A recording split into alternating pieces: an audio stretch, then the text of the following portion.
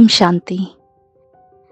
ఇప్పుడు మనము ఒకవేళ స్వయాన్ని మరియు మన యొక్క మనోస్థితిని అలాగే ప్రపంచంలోని పరిస్థితులను గనుక చూసినట్టయితే దుఃఖము బాధ అశాంతి చింత ద్వేషము వీటన్నిటినీ మనము మన యొక్క న్యాచురల్ గుణాలు అని నమ్ముతూ వచ్చాము. కానీ ఇవన్నిటిని చూసి ఇప్పుడున్న ఈ ప్రపంచాన్ని ఘోర కలియుగము అని అంటూ ఉంటాము. కానీ ఇక్కడ మనం గమనించాల్సింది ఏంటంటే ఈ ప్రపంచము ఎప్పుడూ ఇలాగే ఘోర కలియుగంలాగానే ఉండిపోతుందా?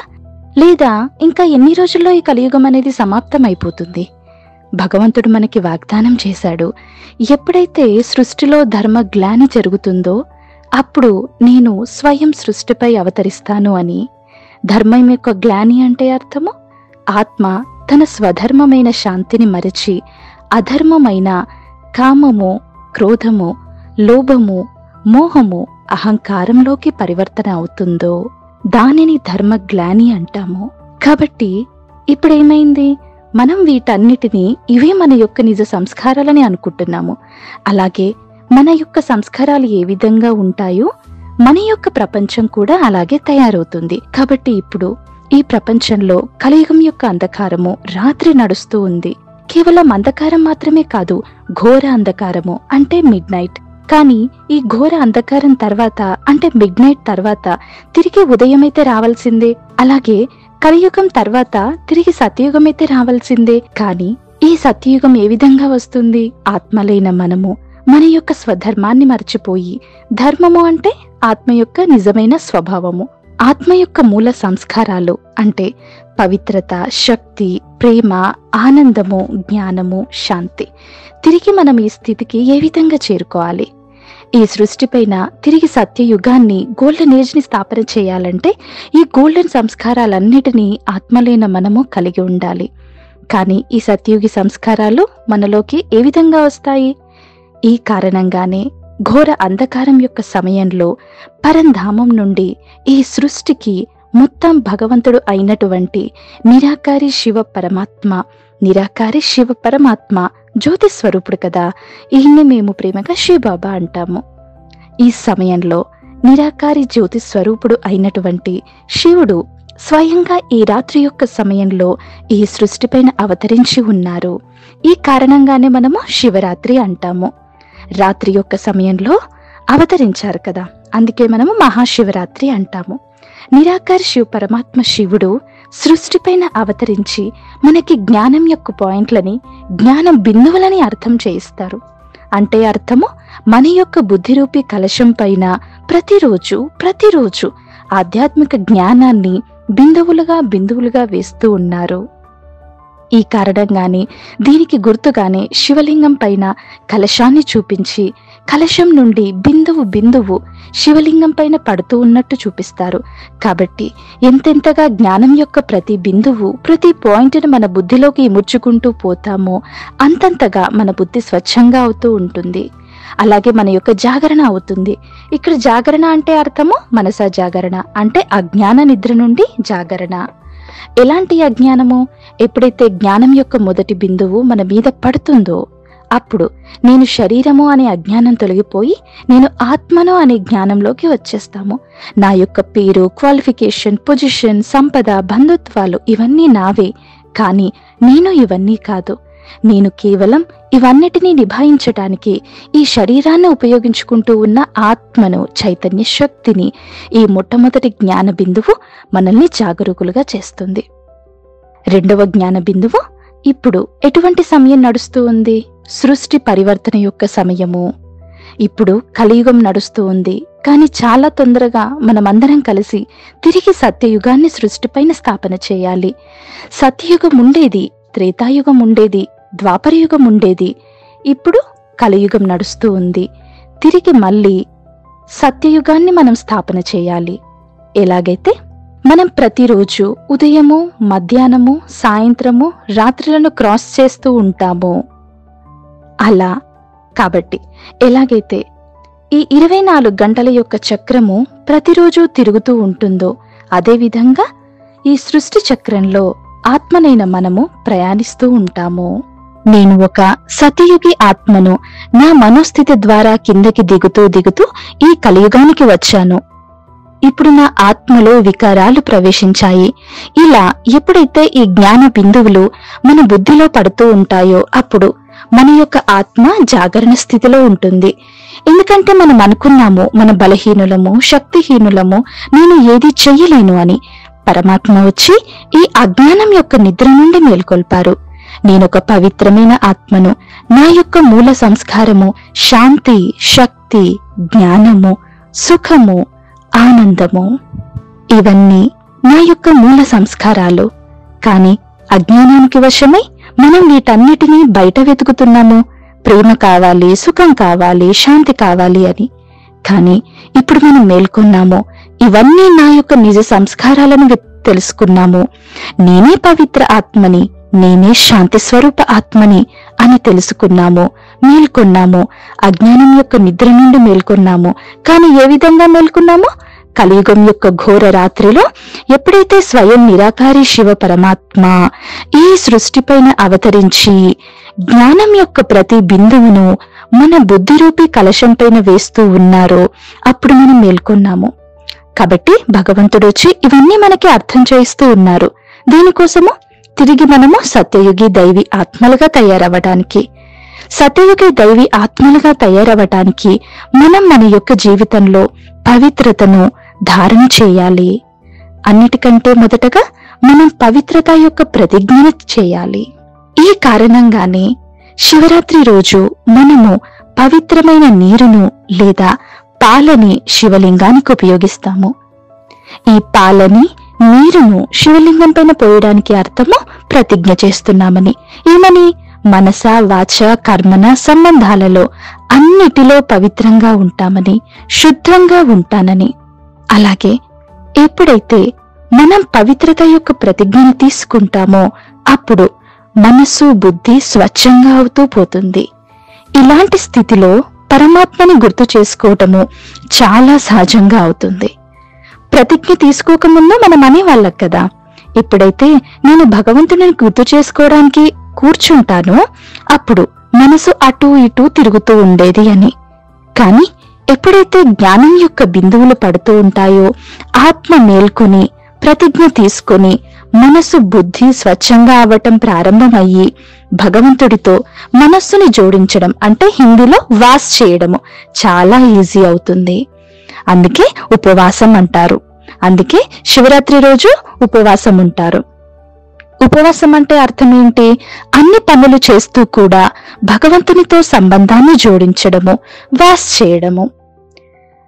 ఈ ప్రపంచంలో మనం అందరితో ఉంటాము పని చేస్తాము సంబంధాలు జోడిస్తాము అన్ని అక్యురేట్గా చేస్తాము.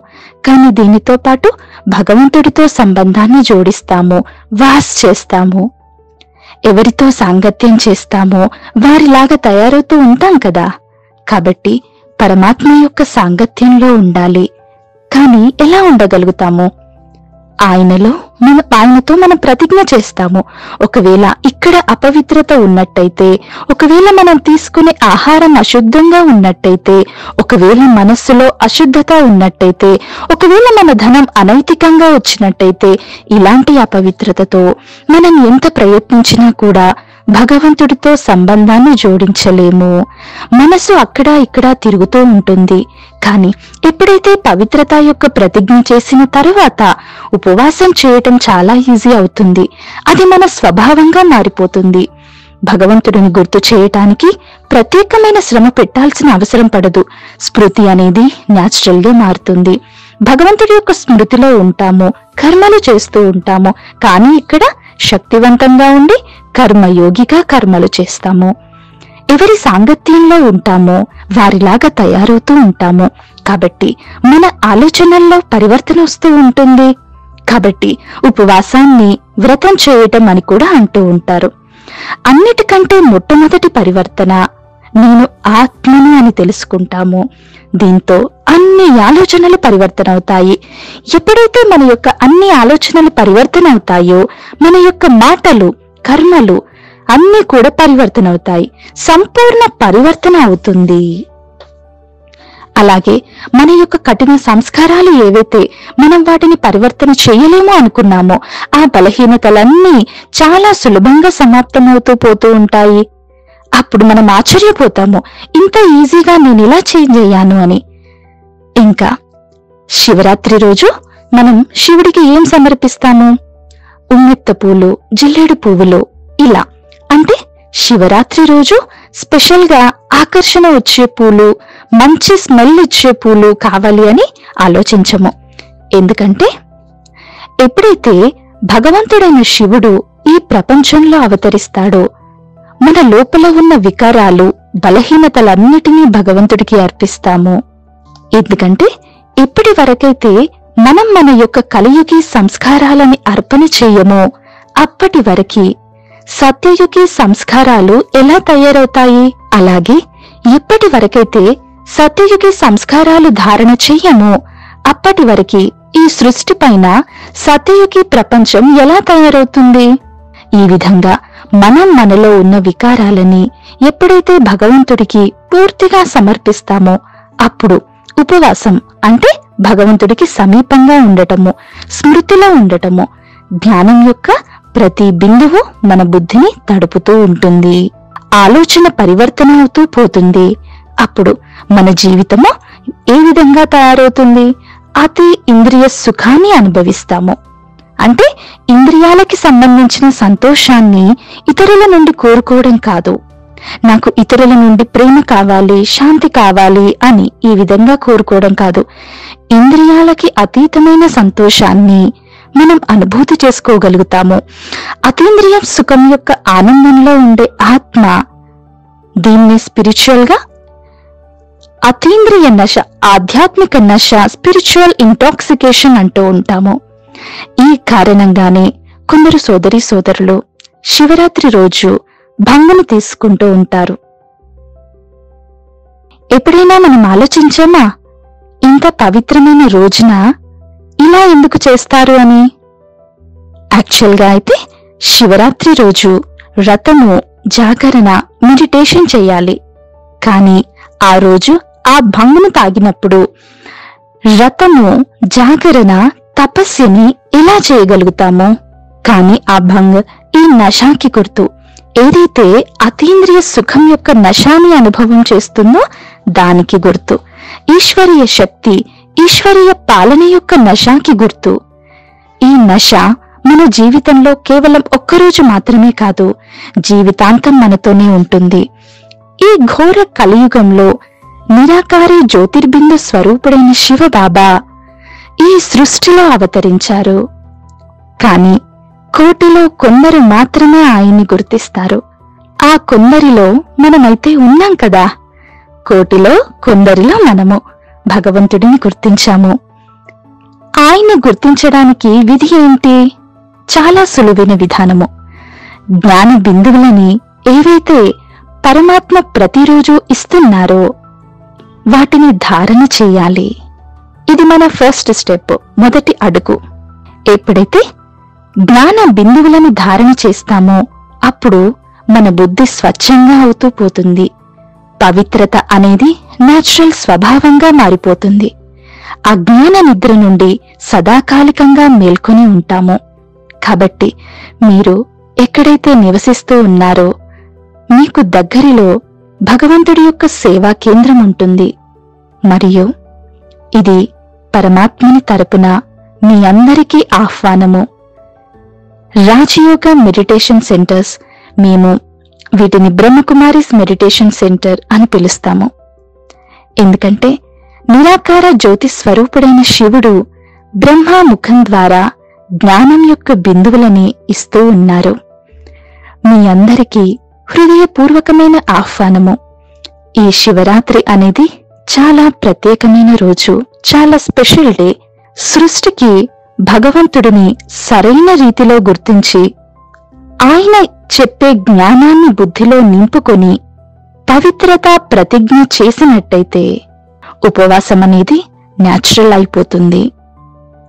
అలాగే మన లోపల ఉన్న అన్ని వికారీ రూపీ పుష్పాలని భగవంతుడికి అర్పణ చేయటానికి ఒక్కసారి సెంటర్కి రండి.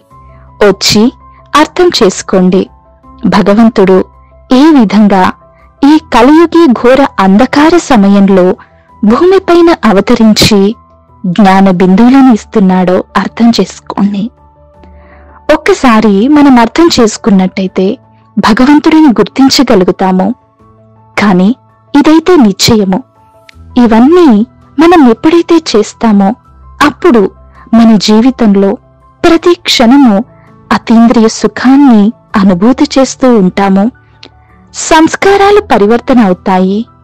అప్పుడు మనమందరం కలిసి ఈ సృష్టి పైన ఈ కలియుగాన్ని సమాప్తం చేసి సత్యయుగాన్ని స్థాపన చేయగలుగుతాము.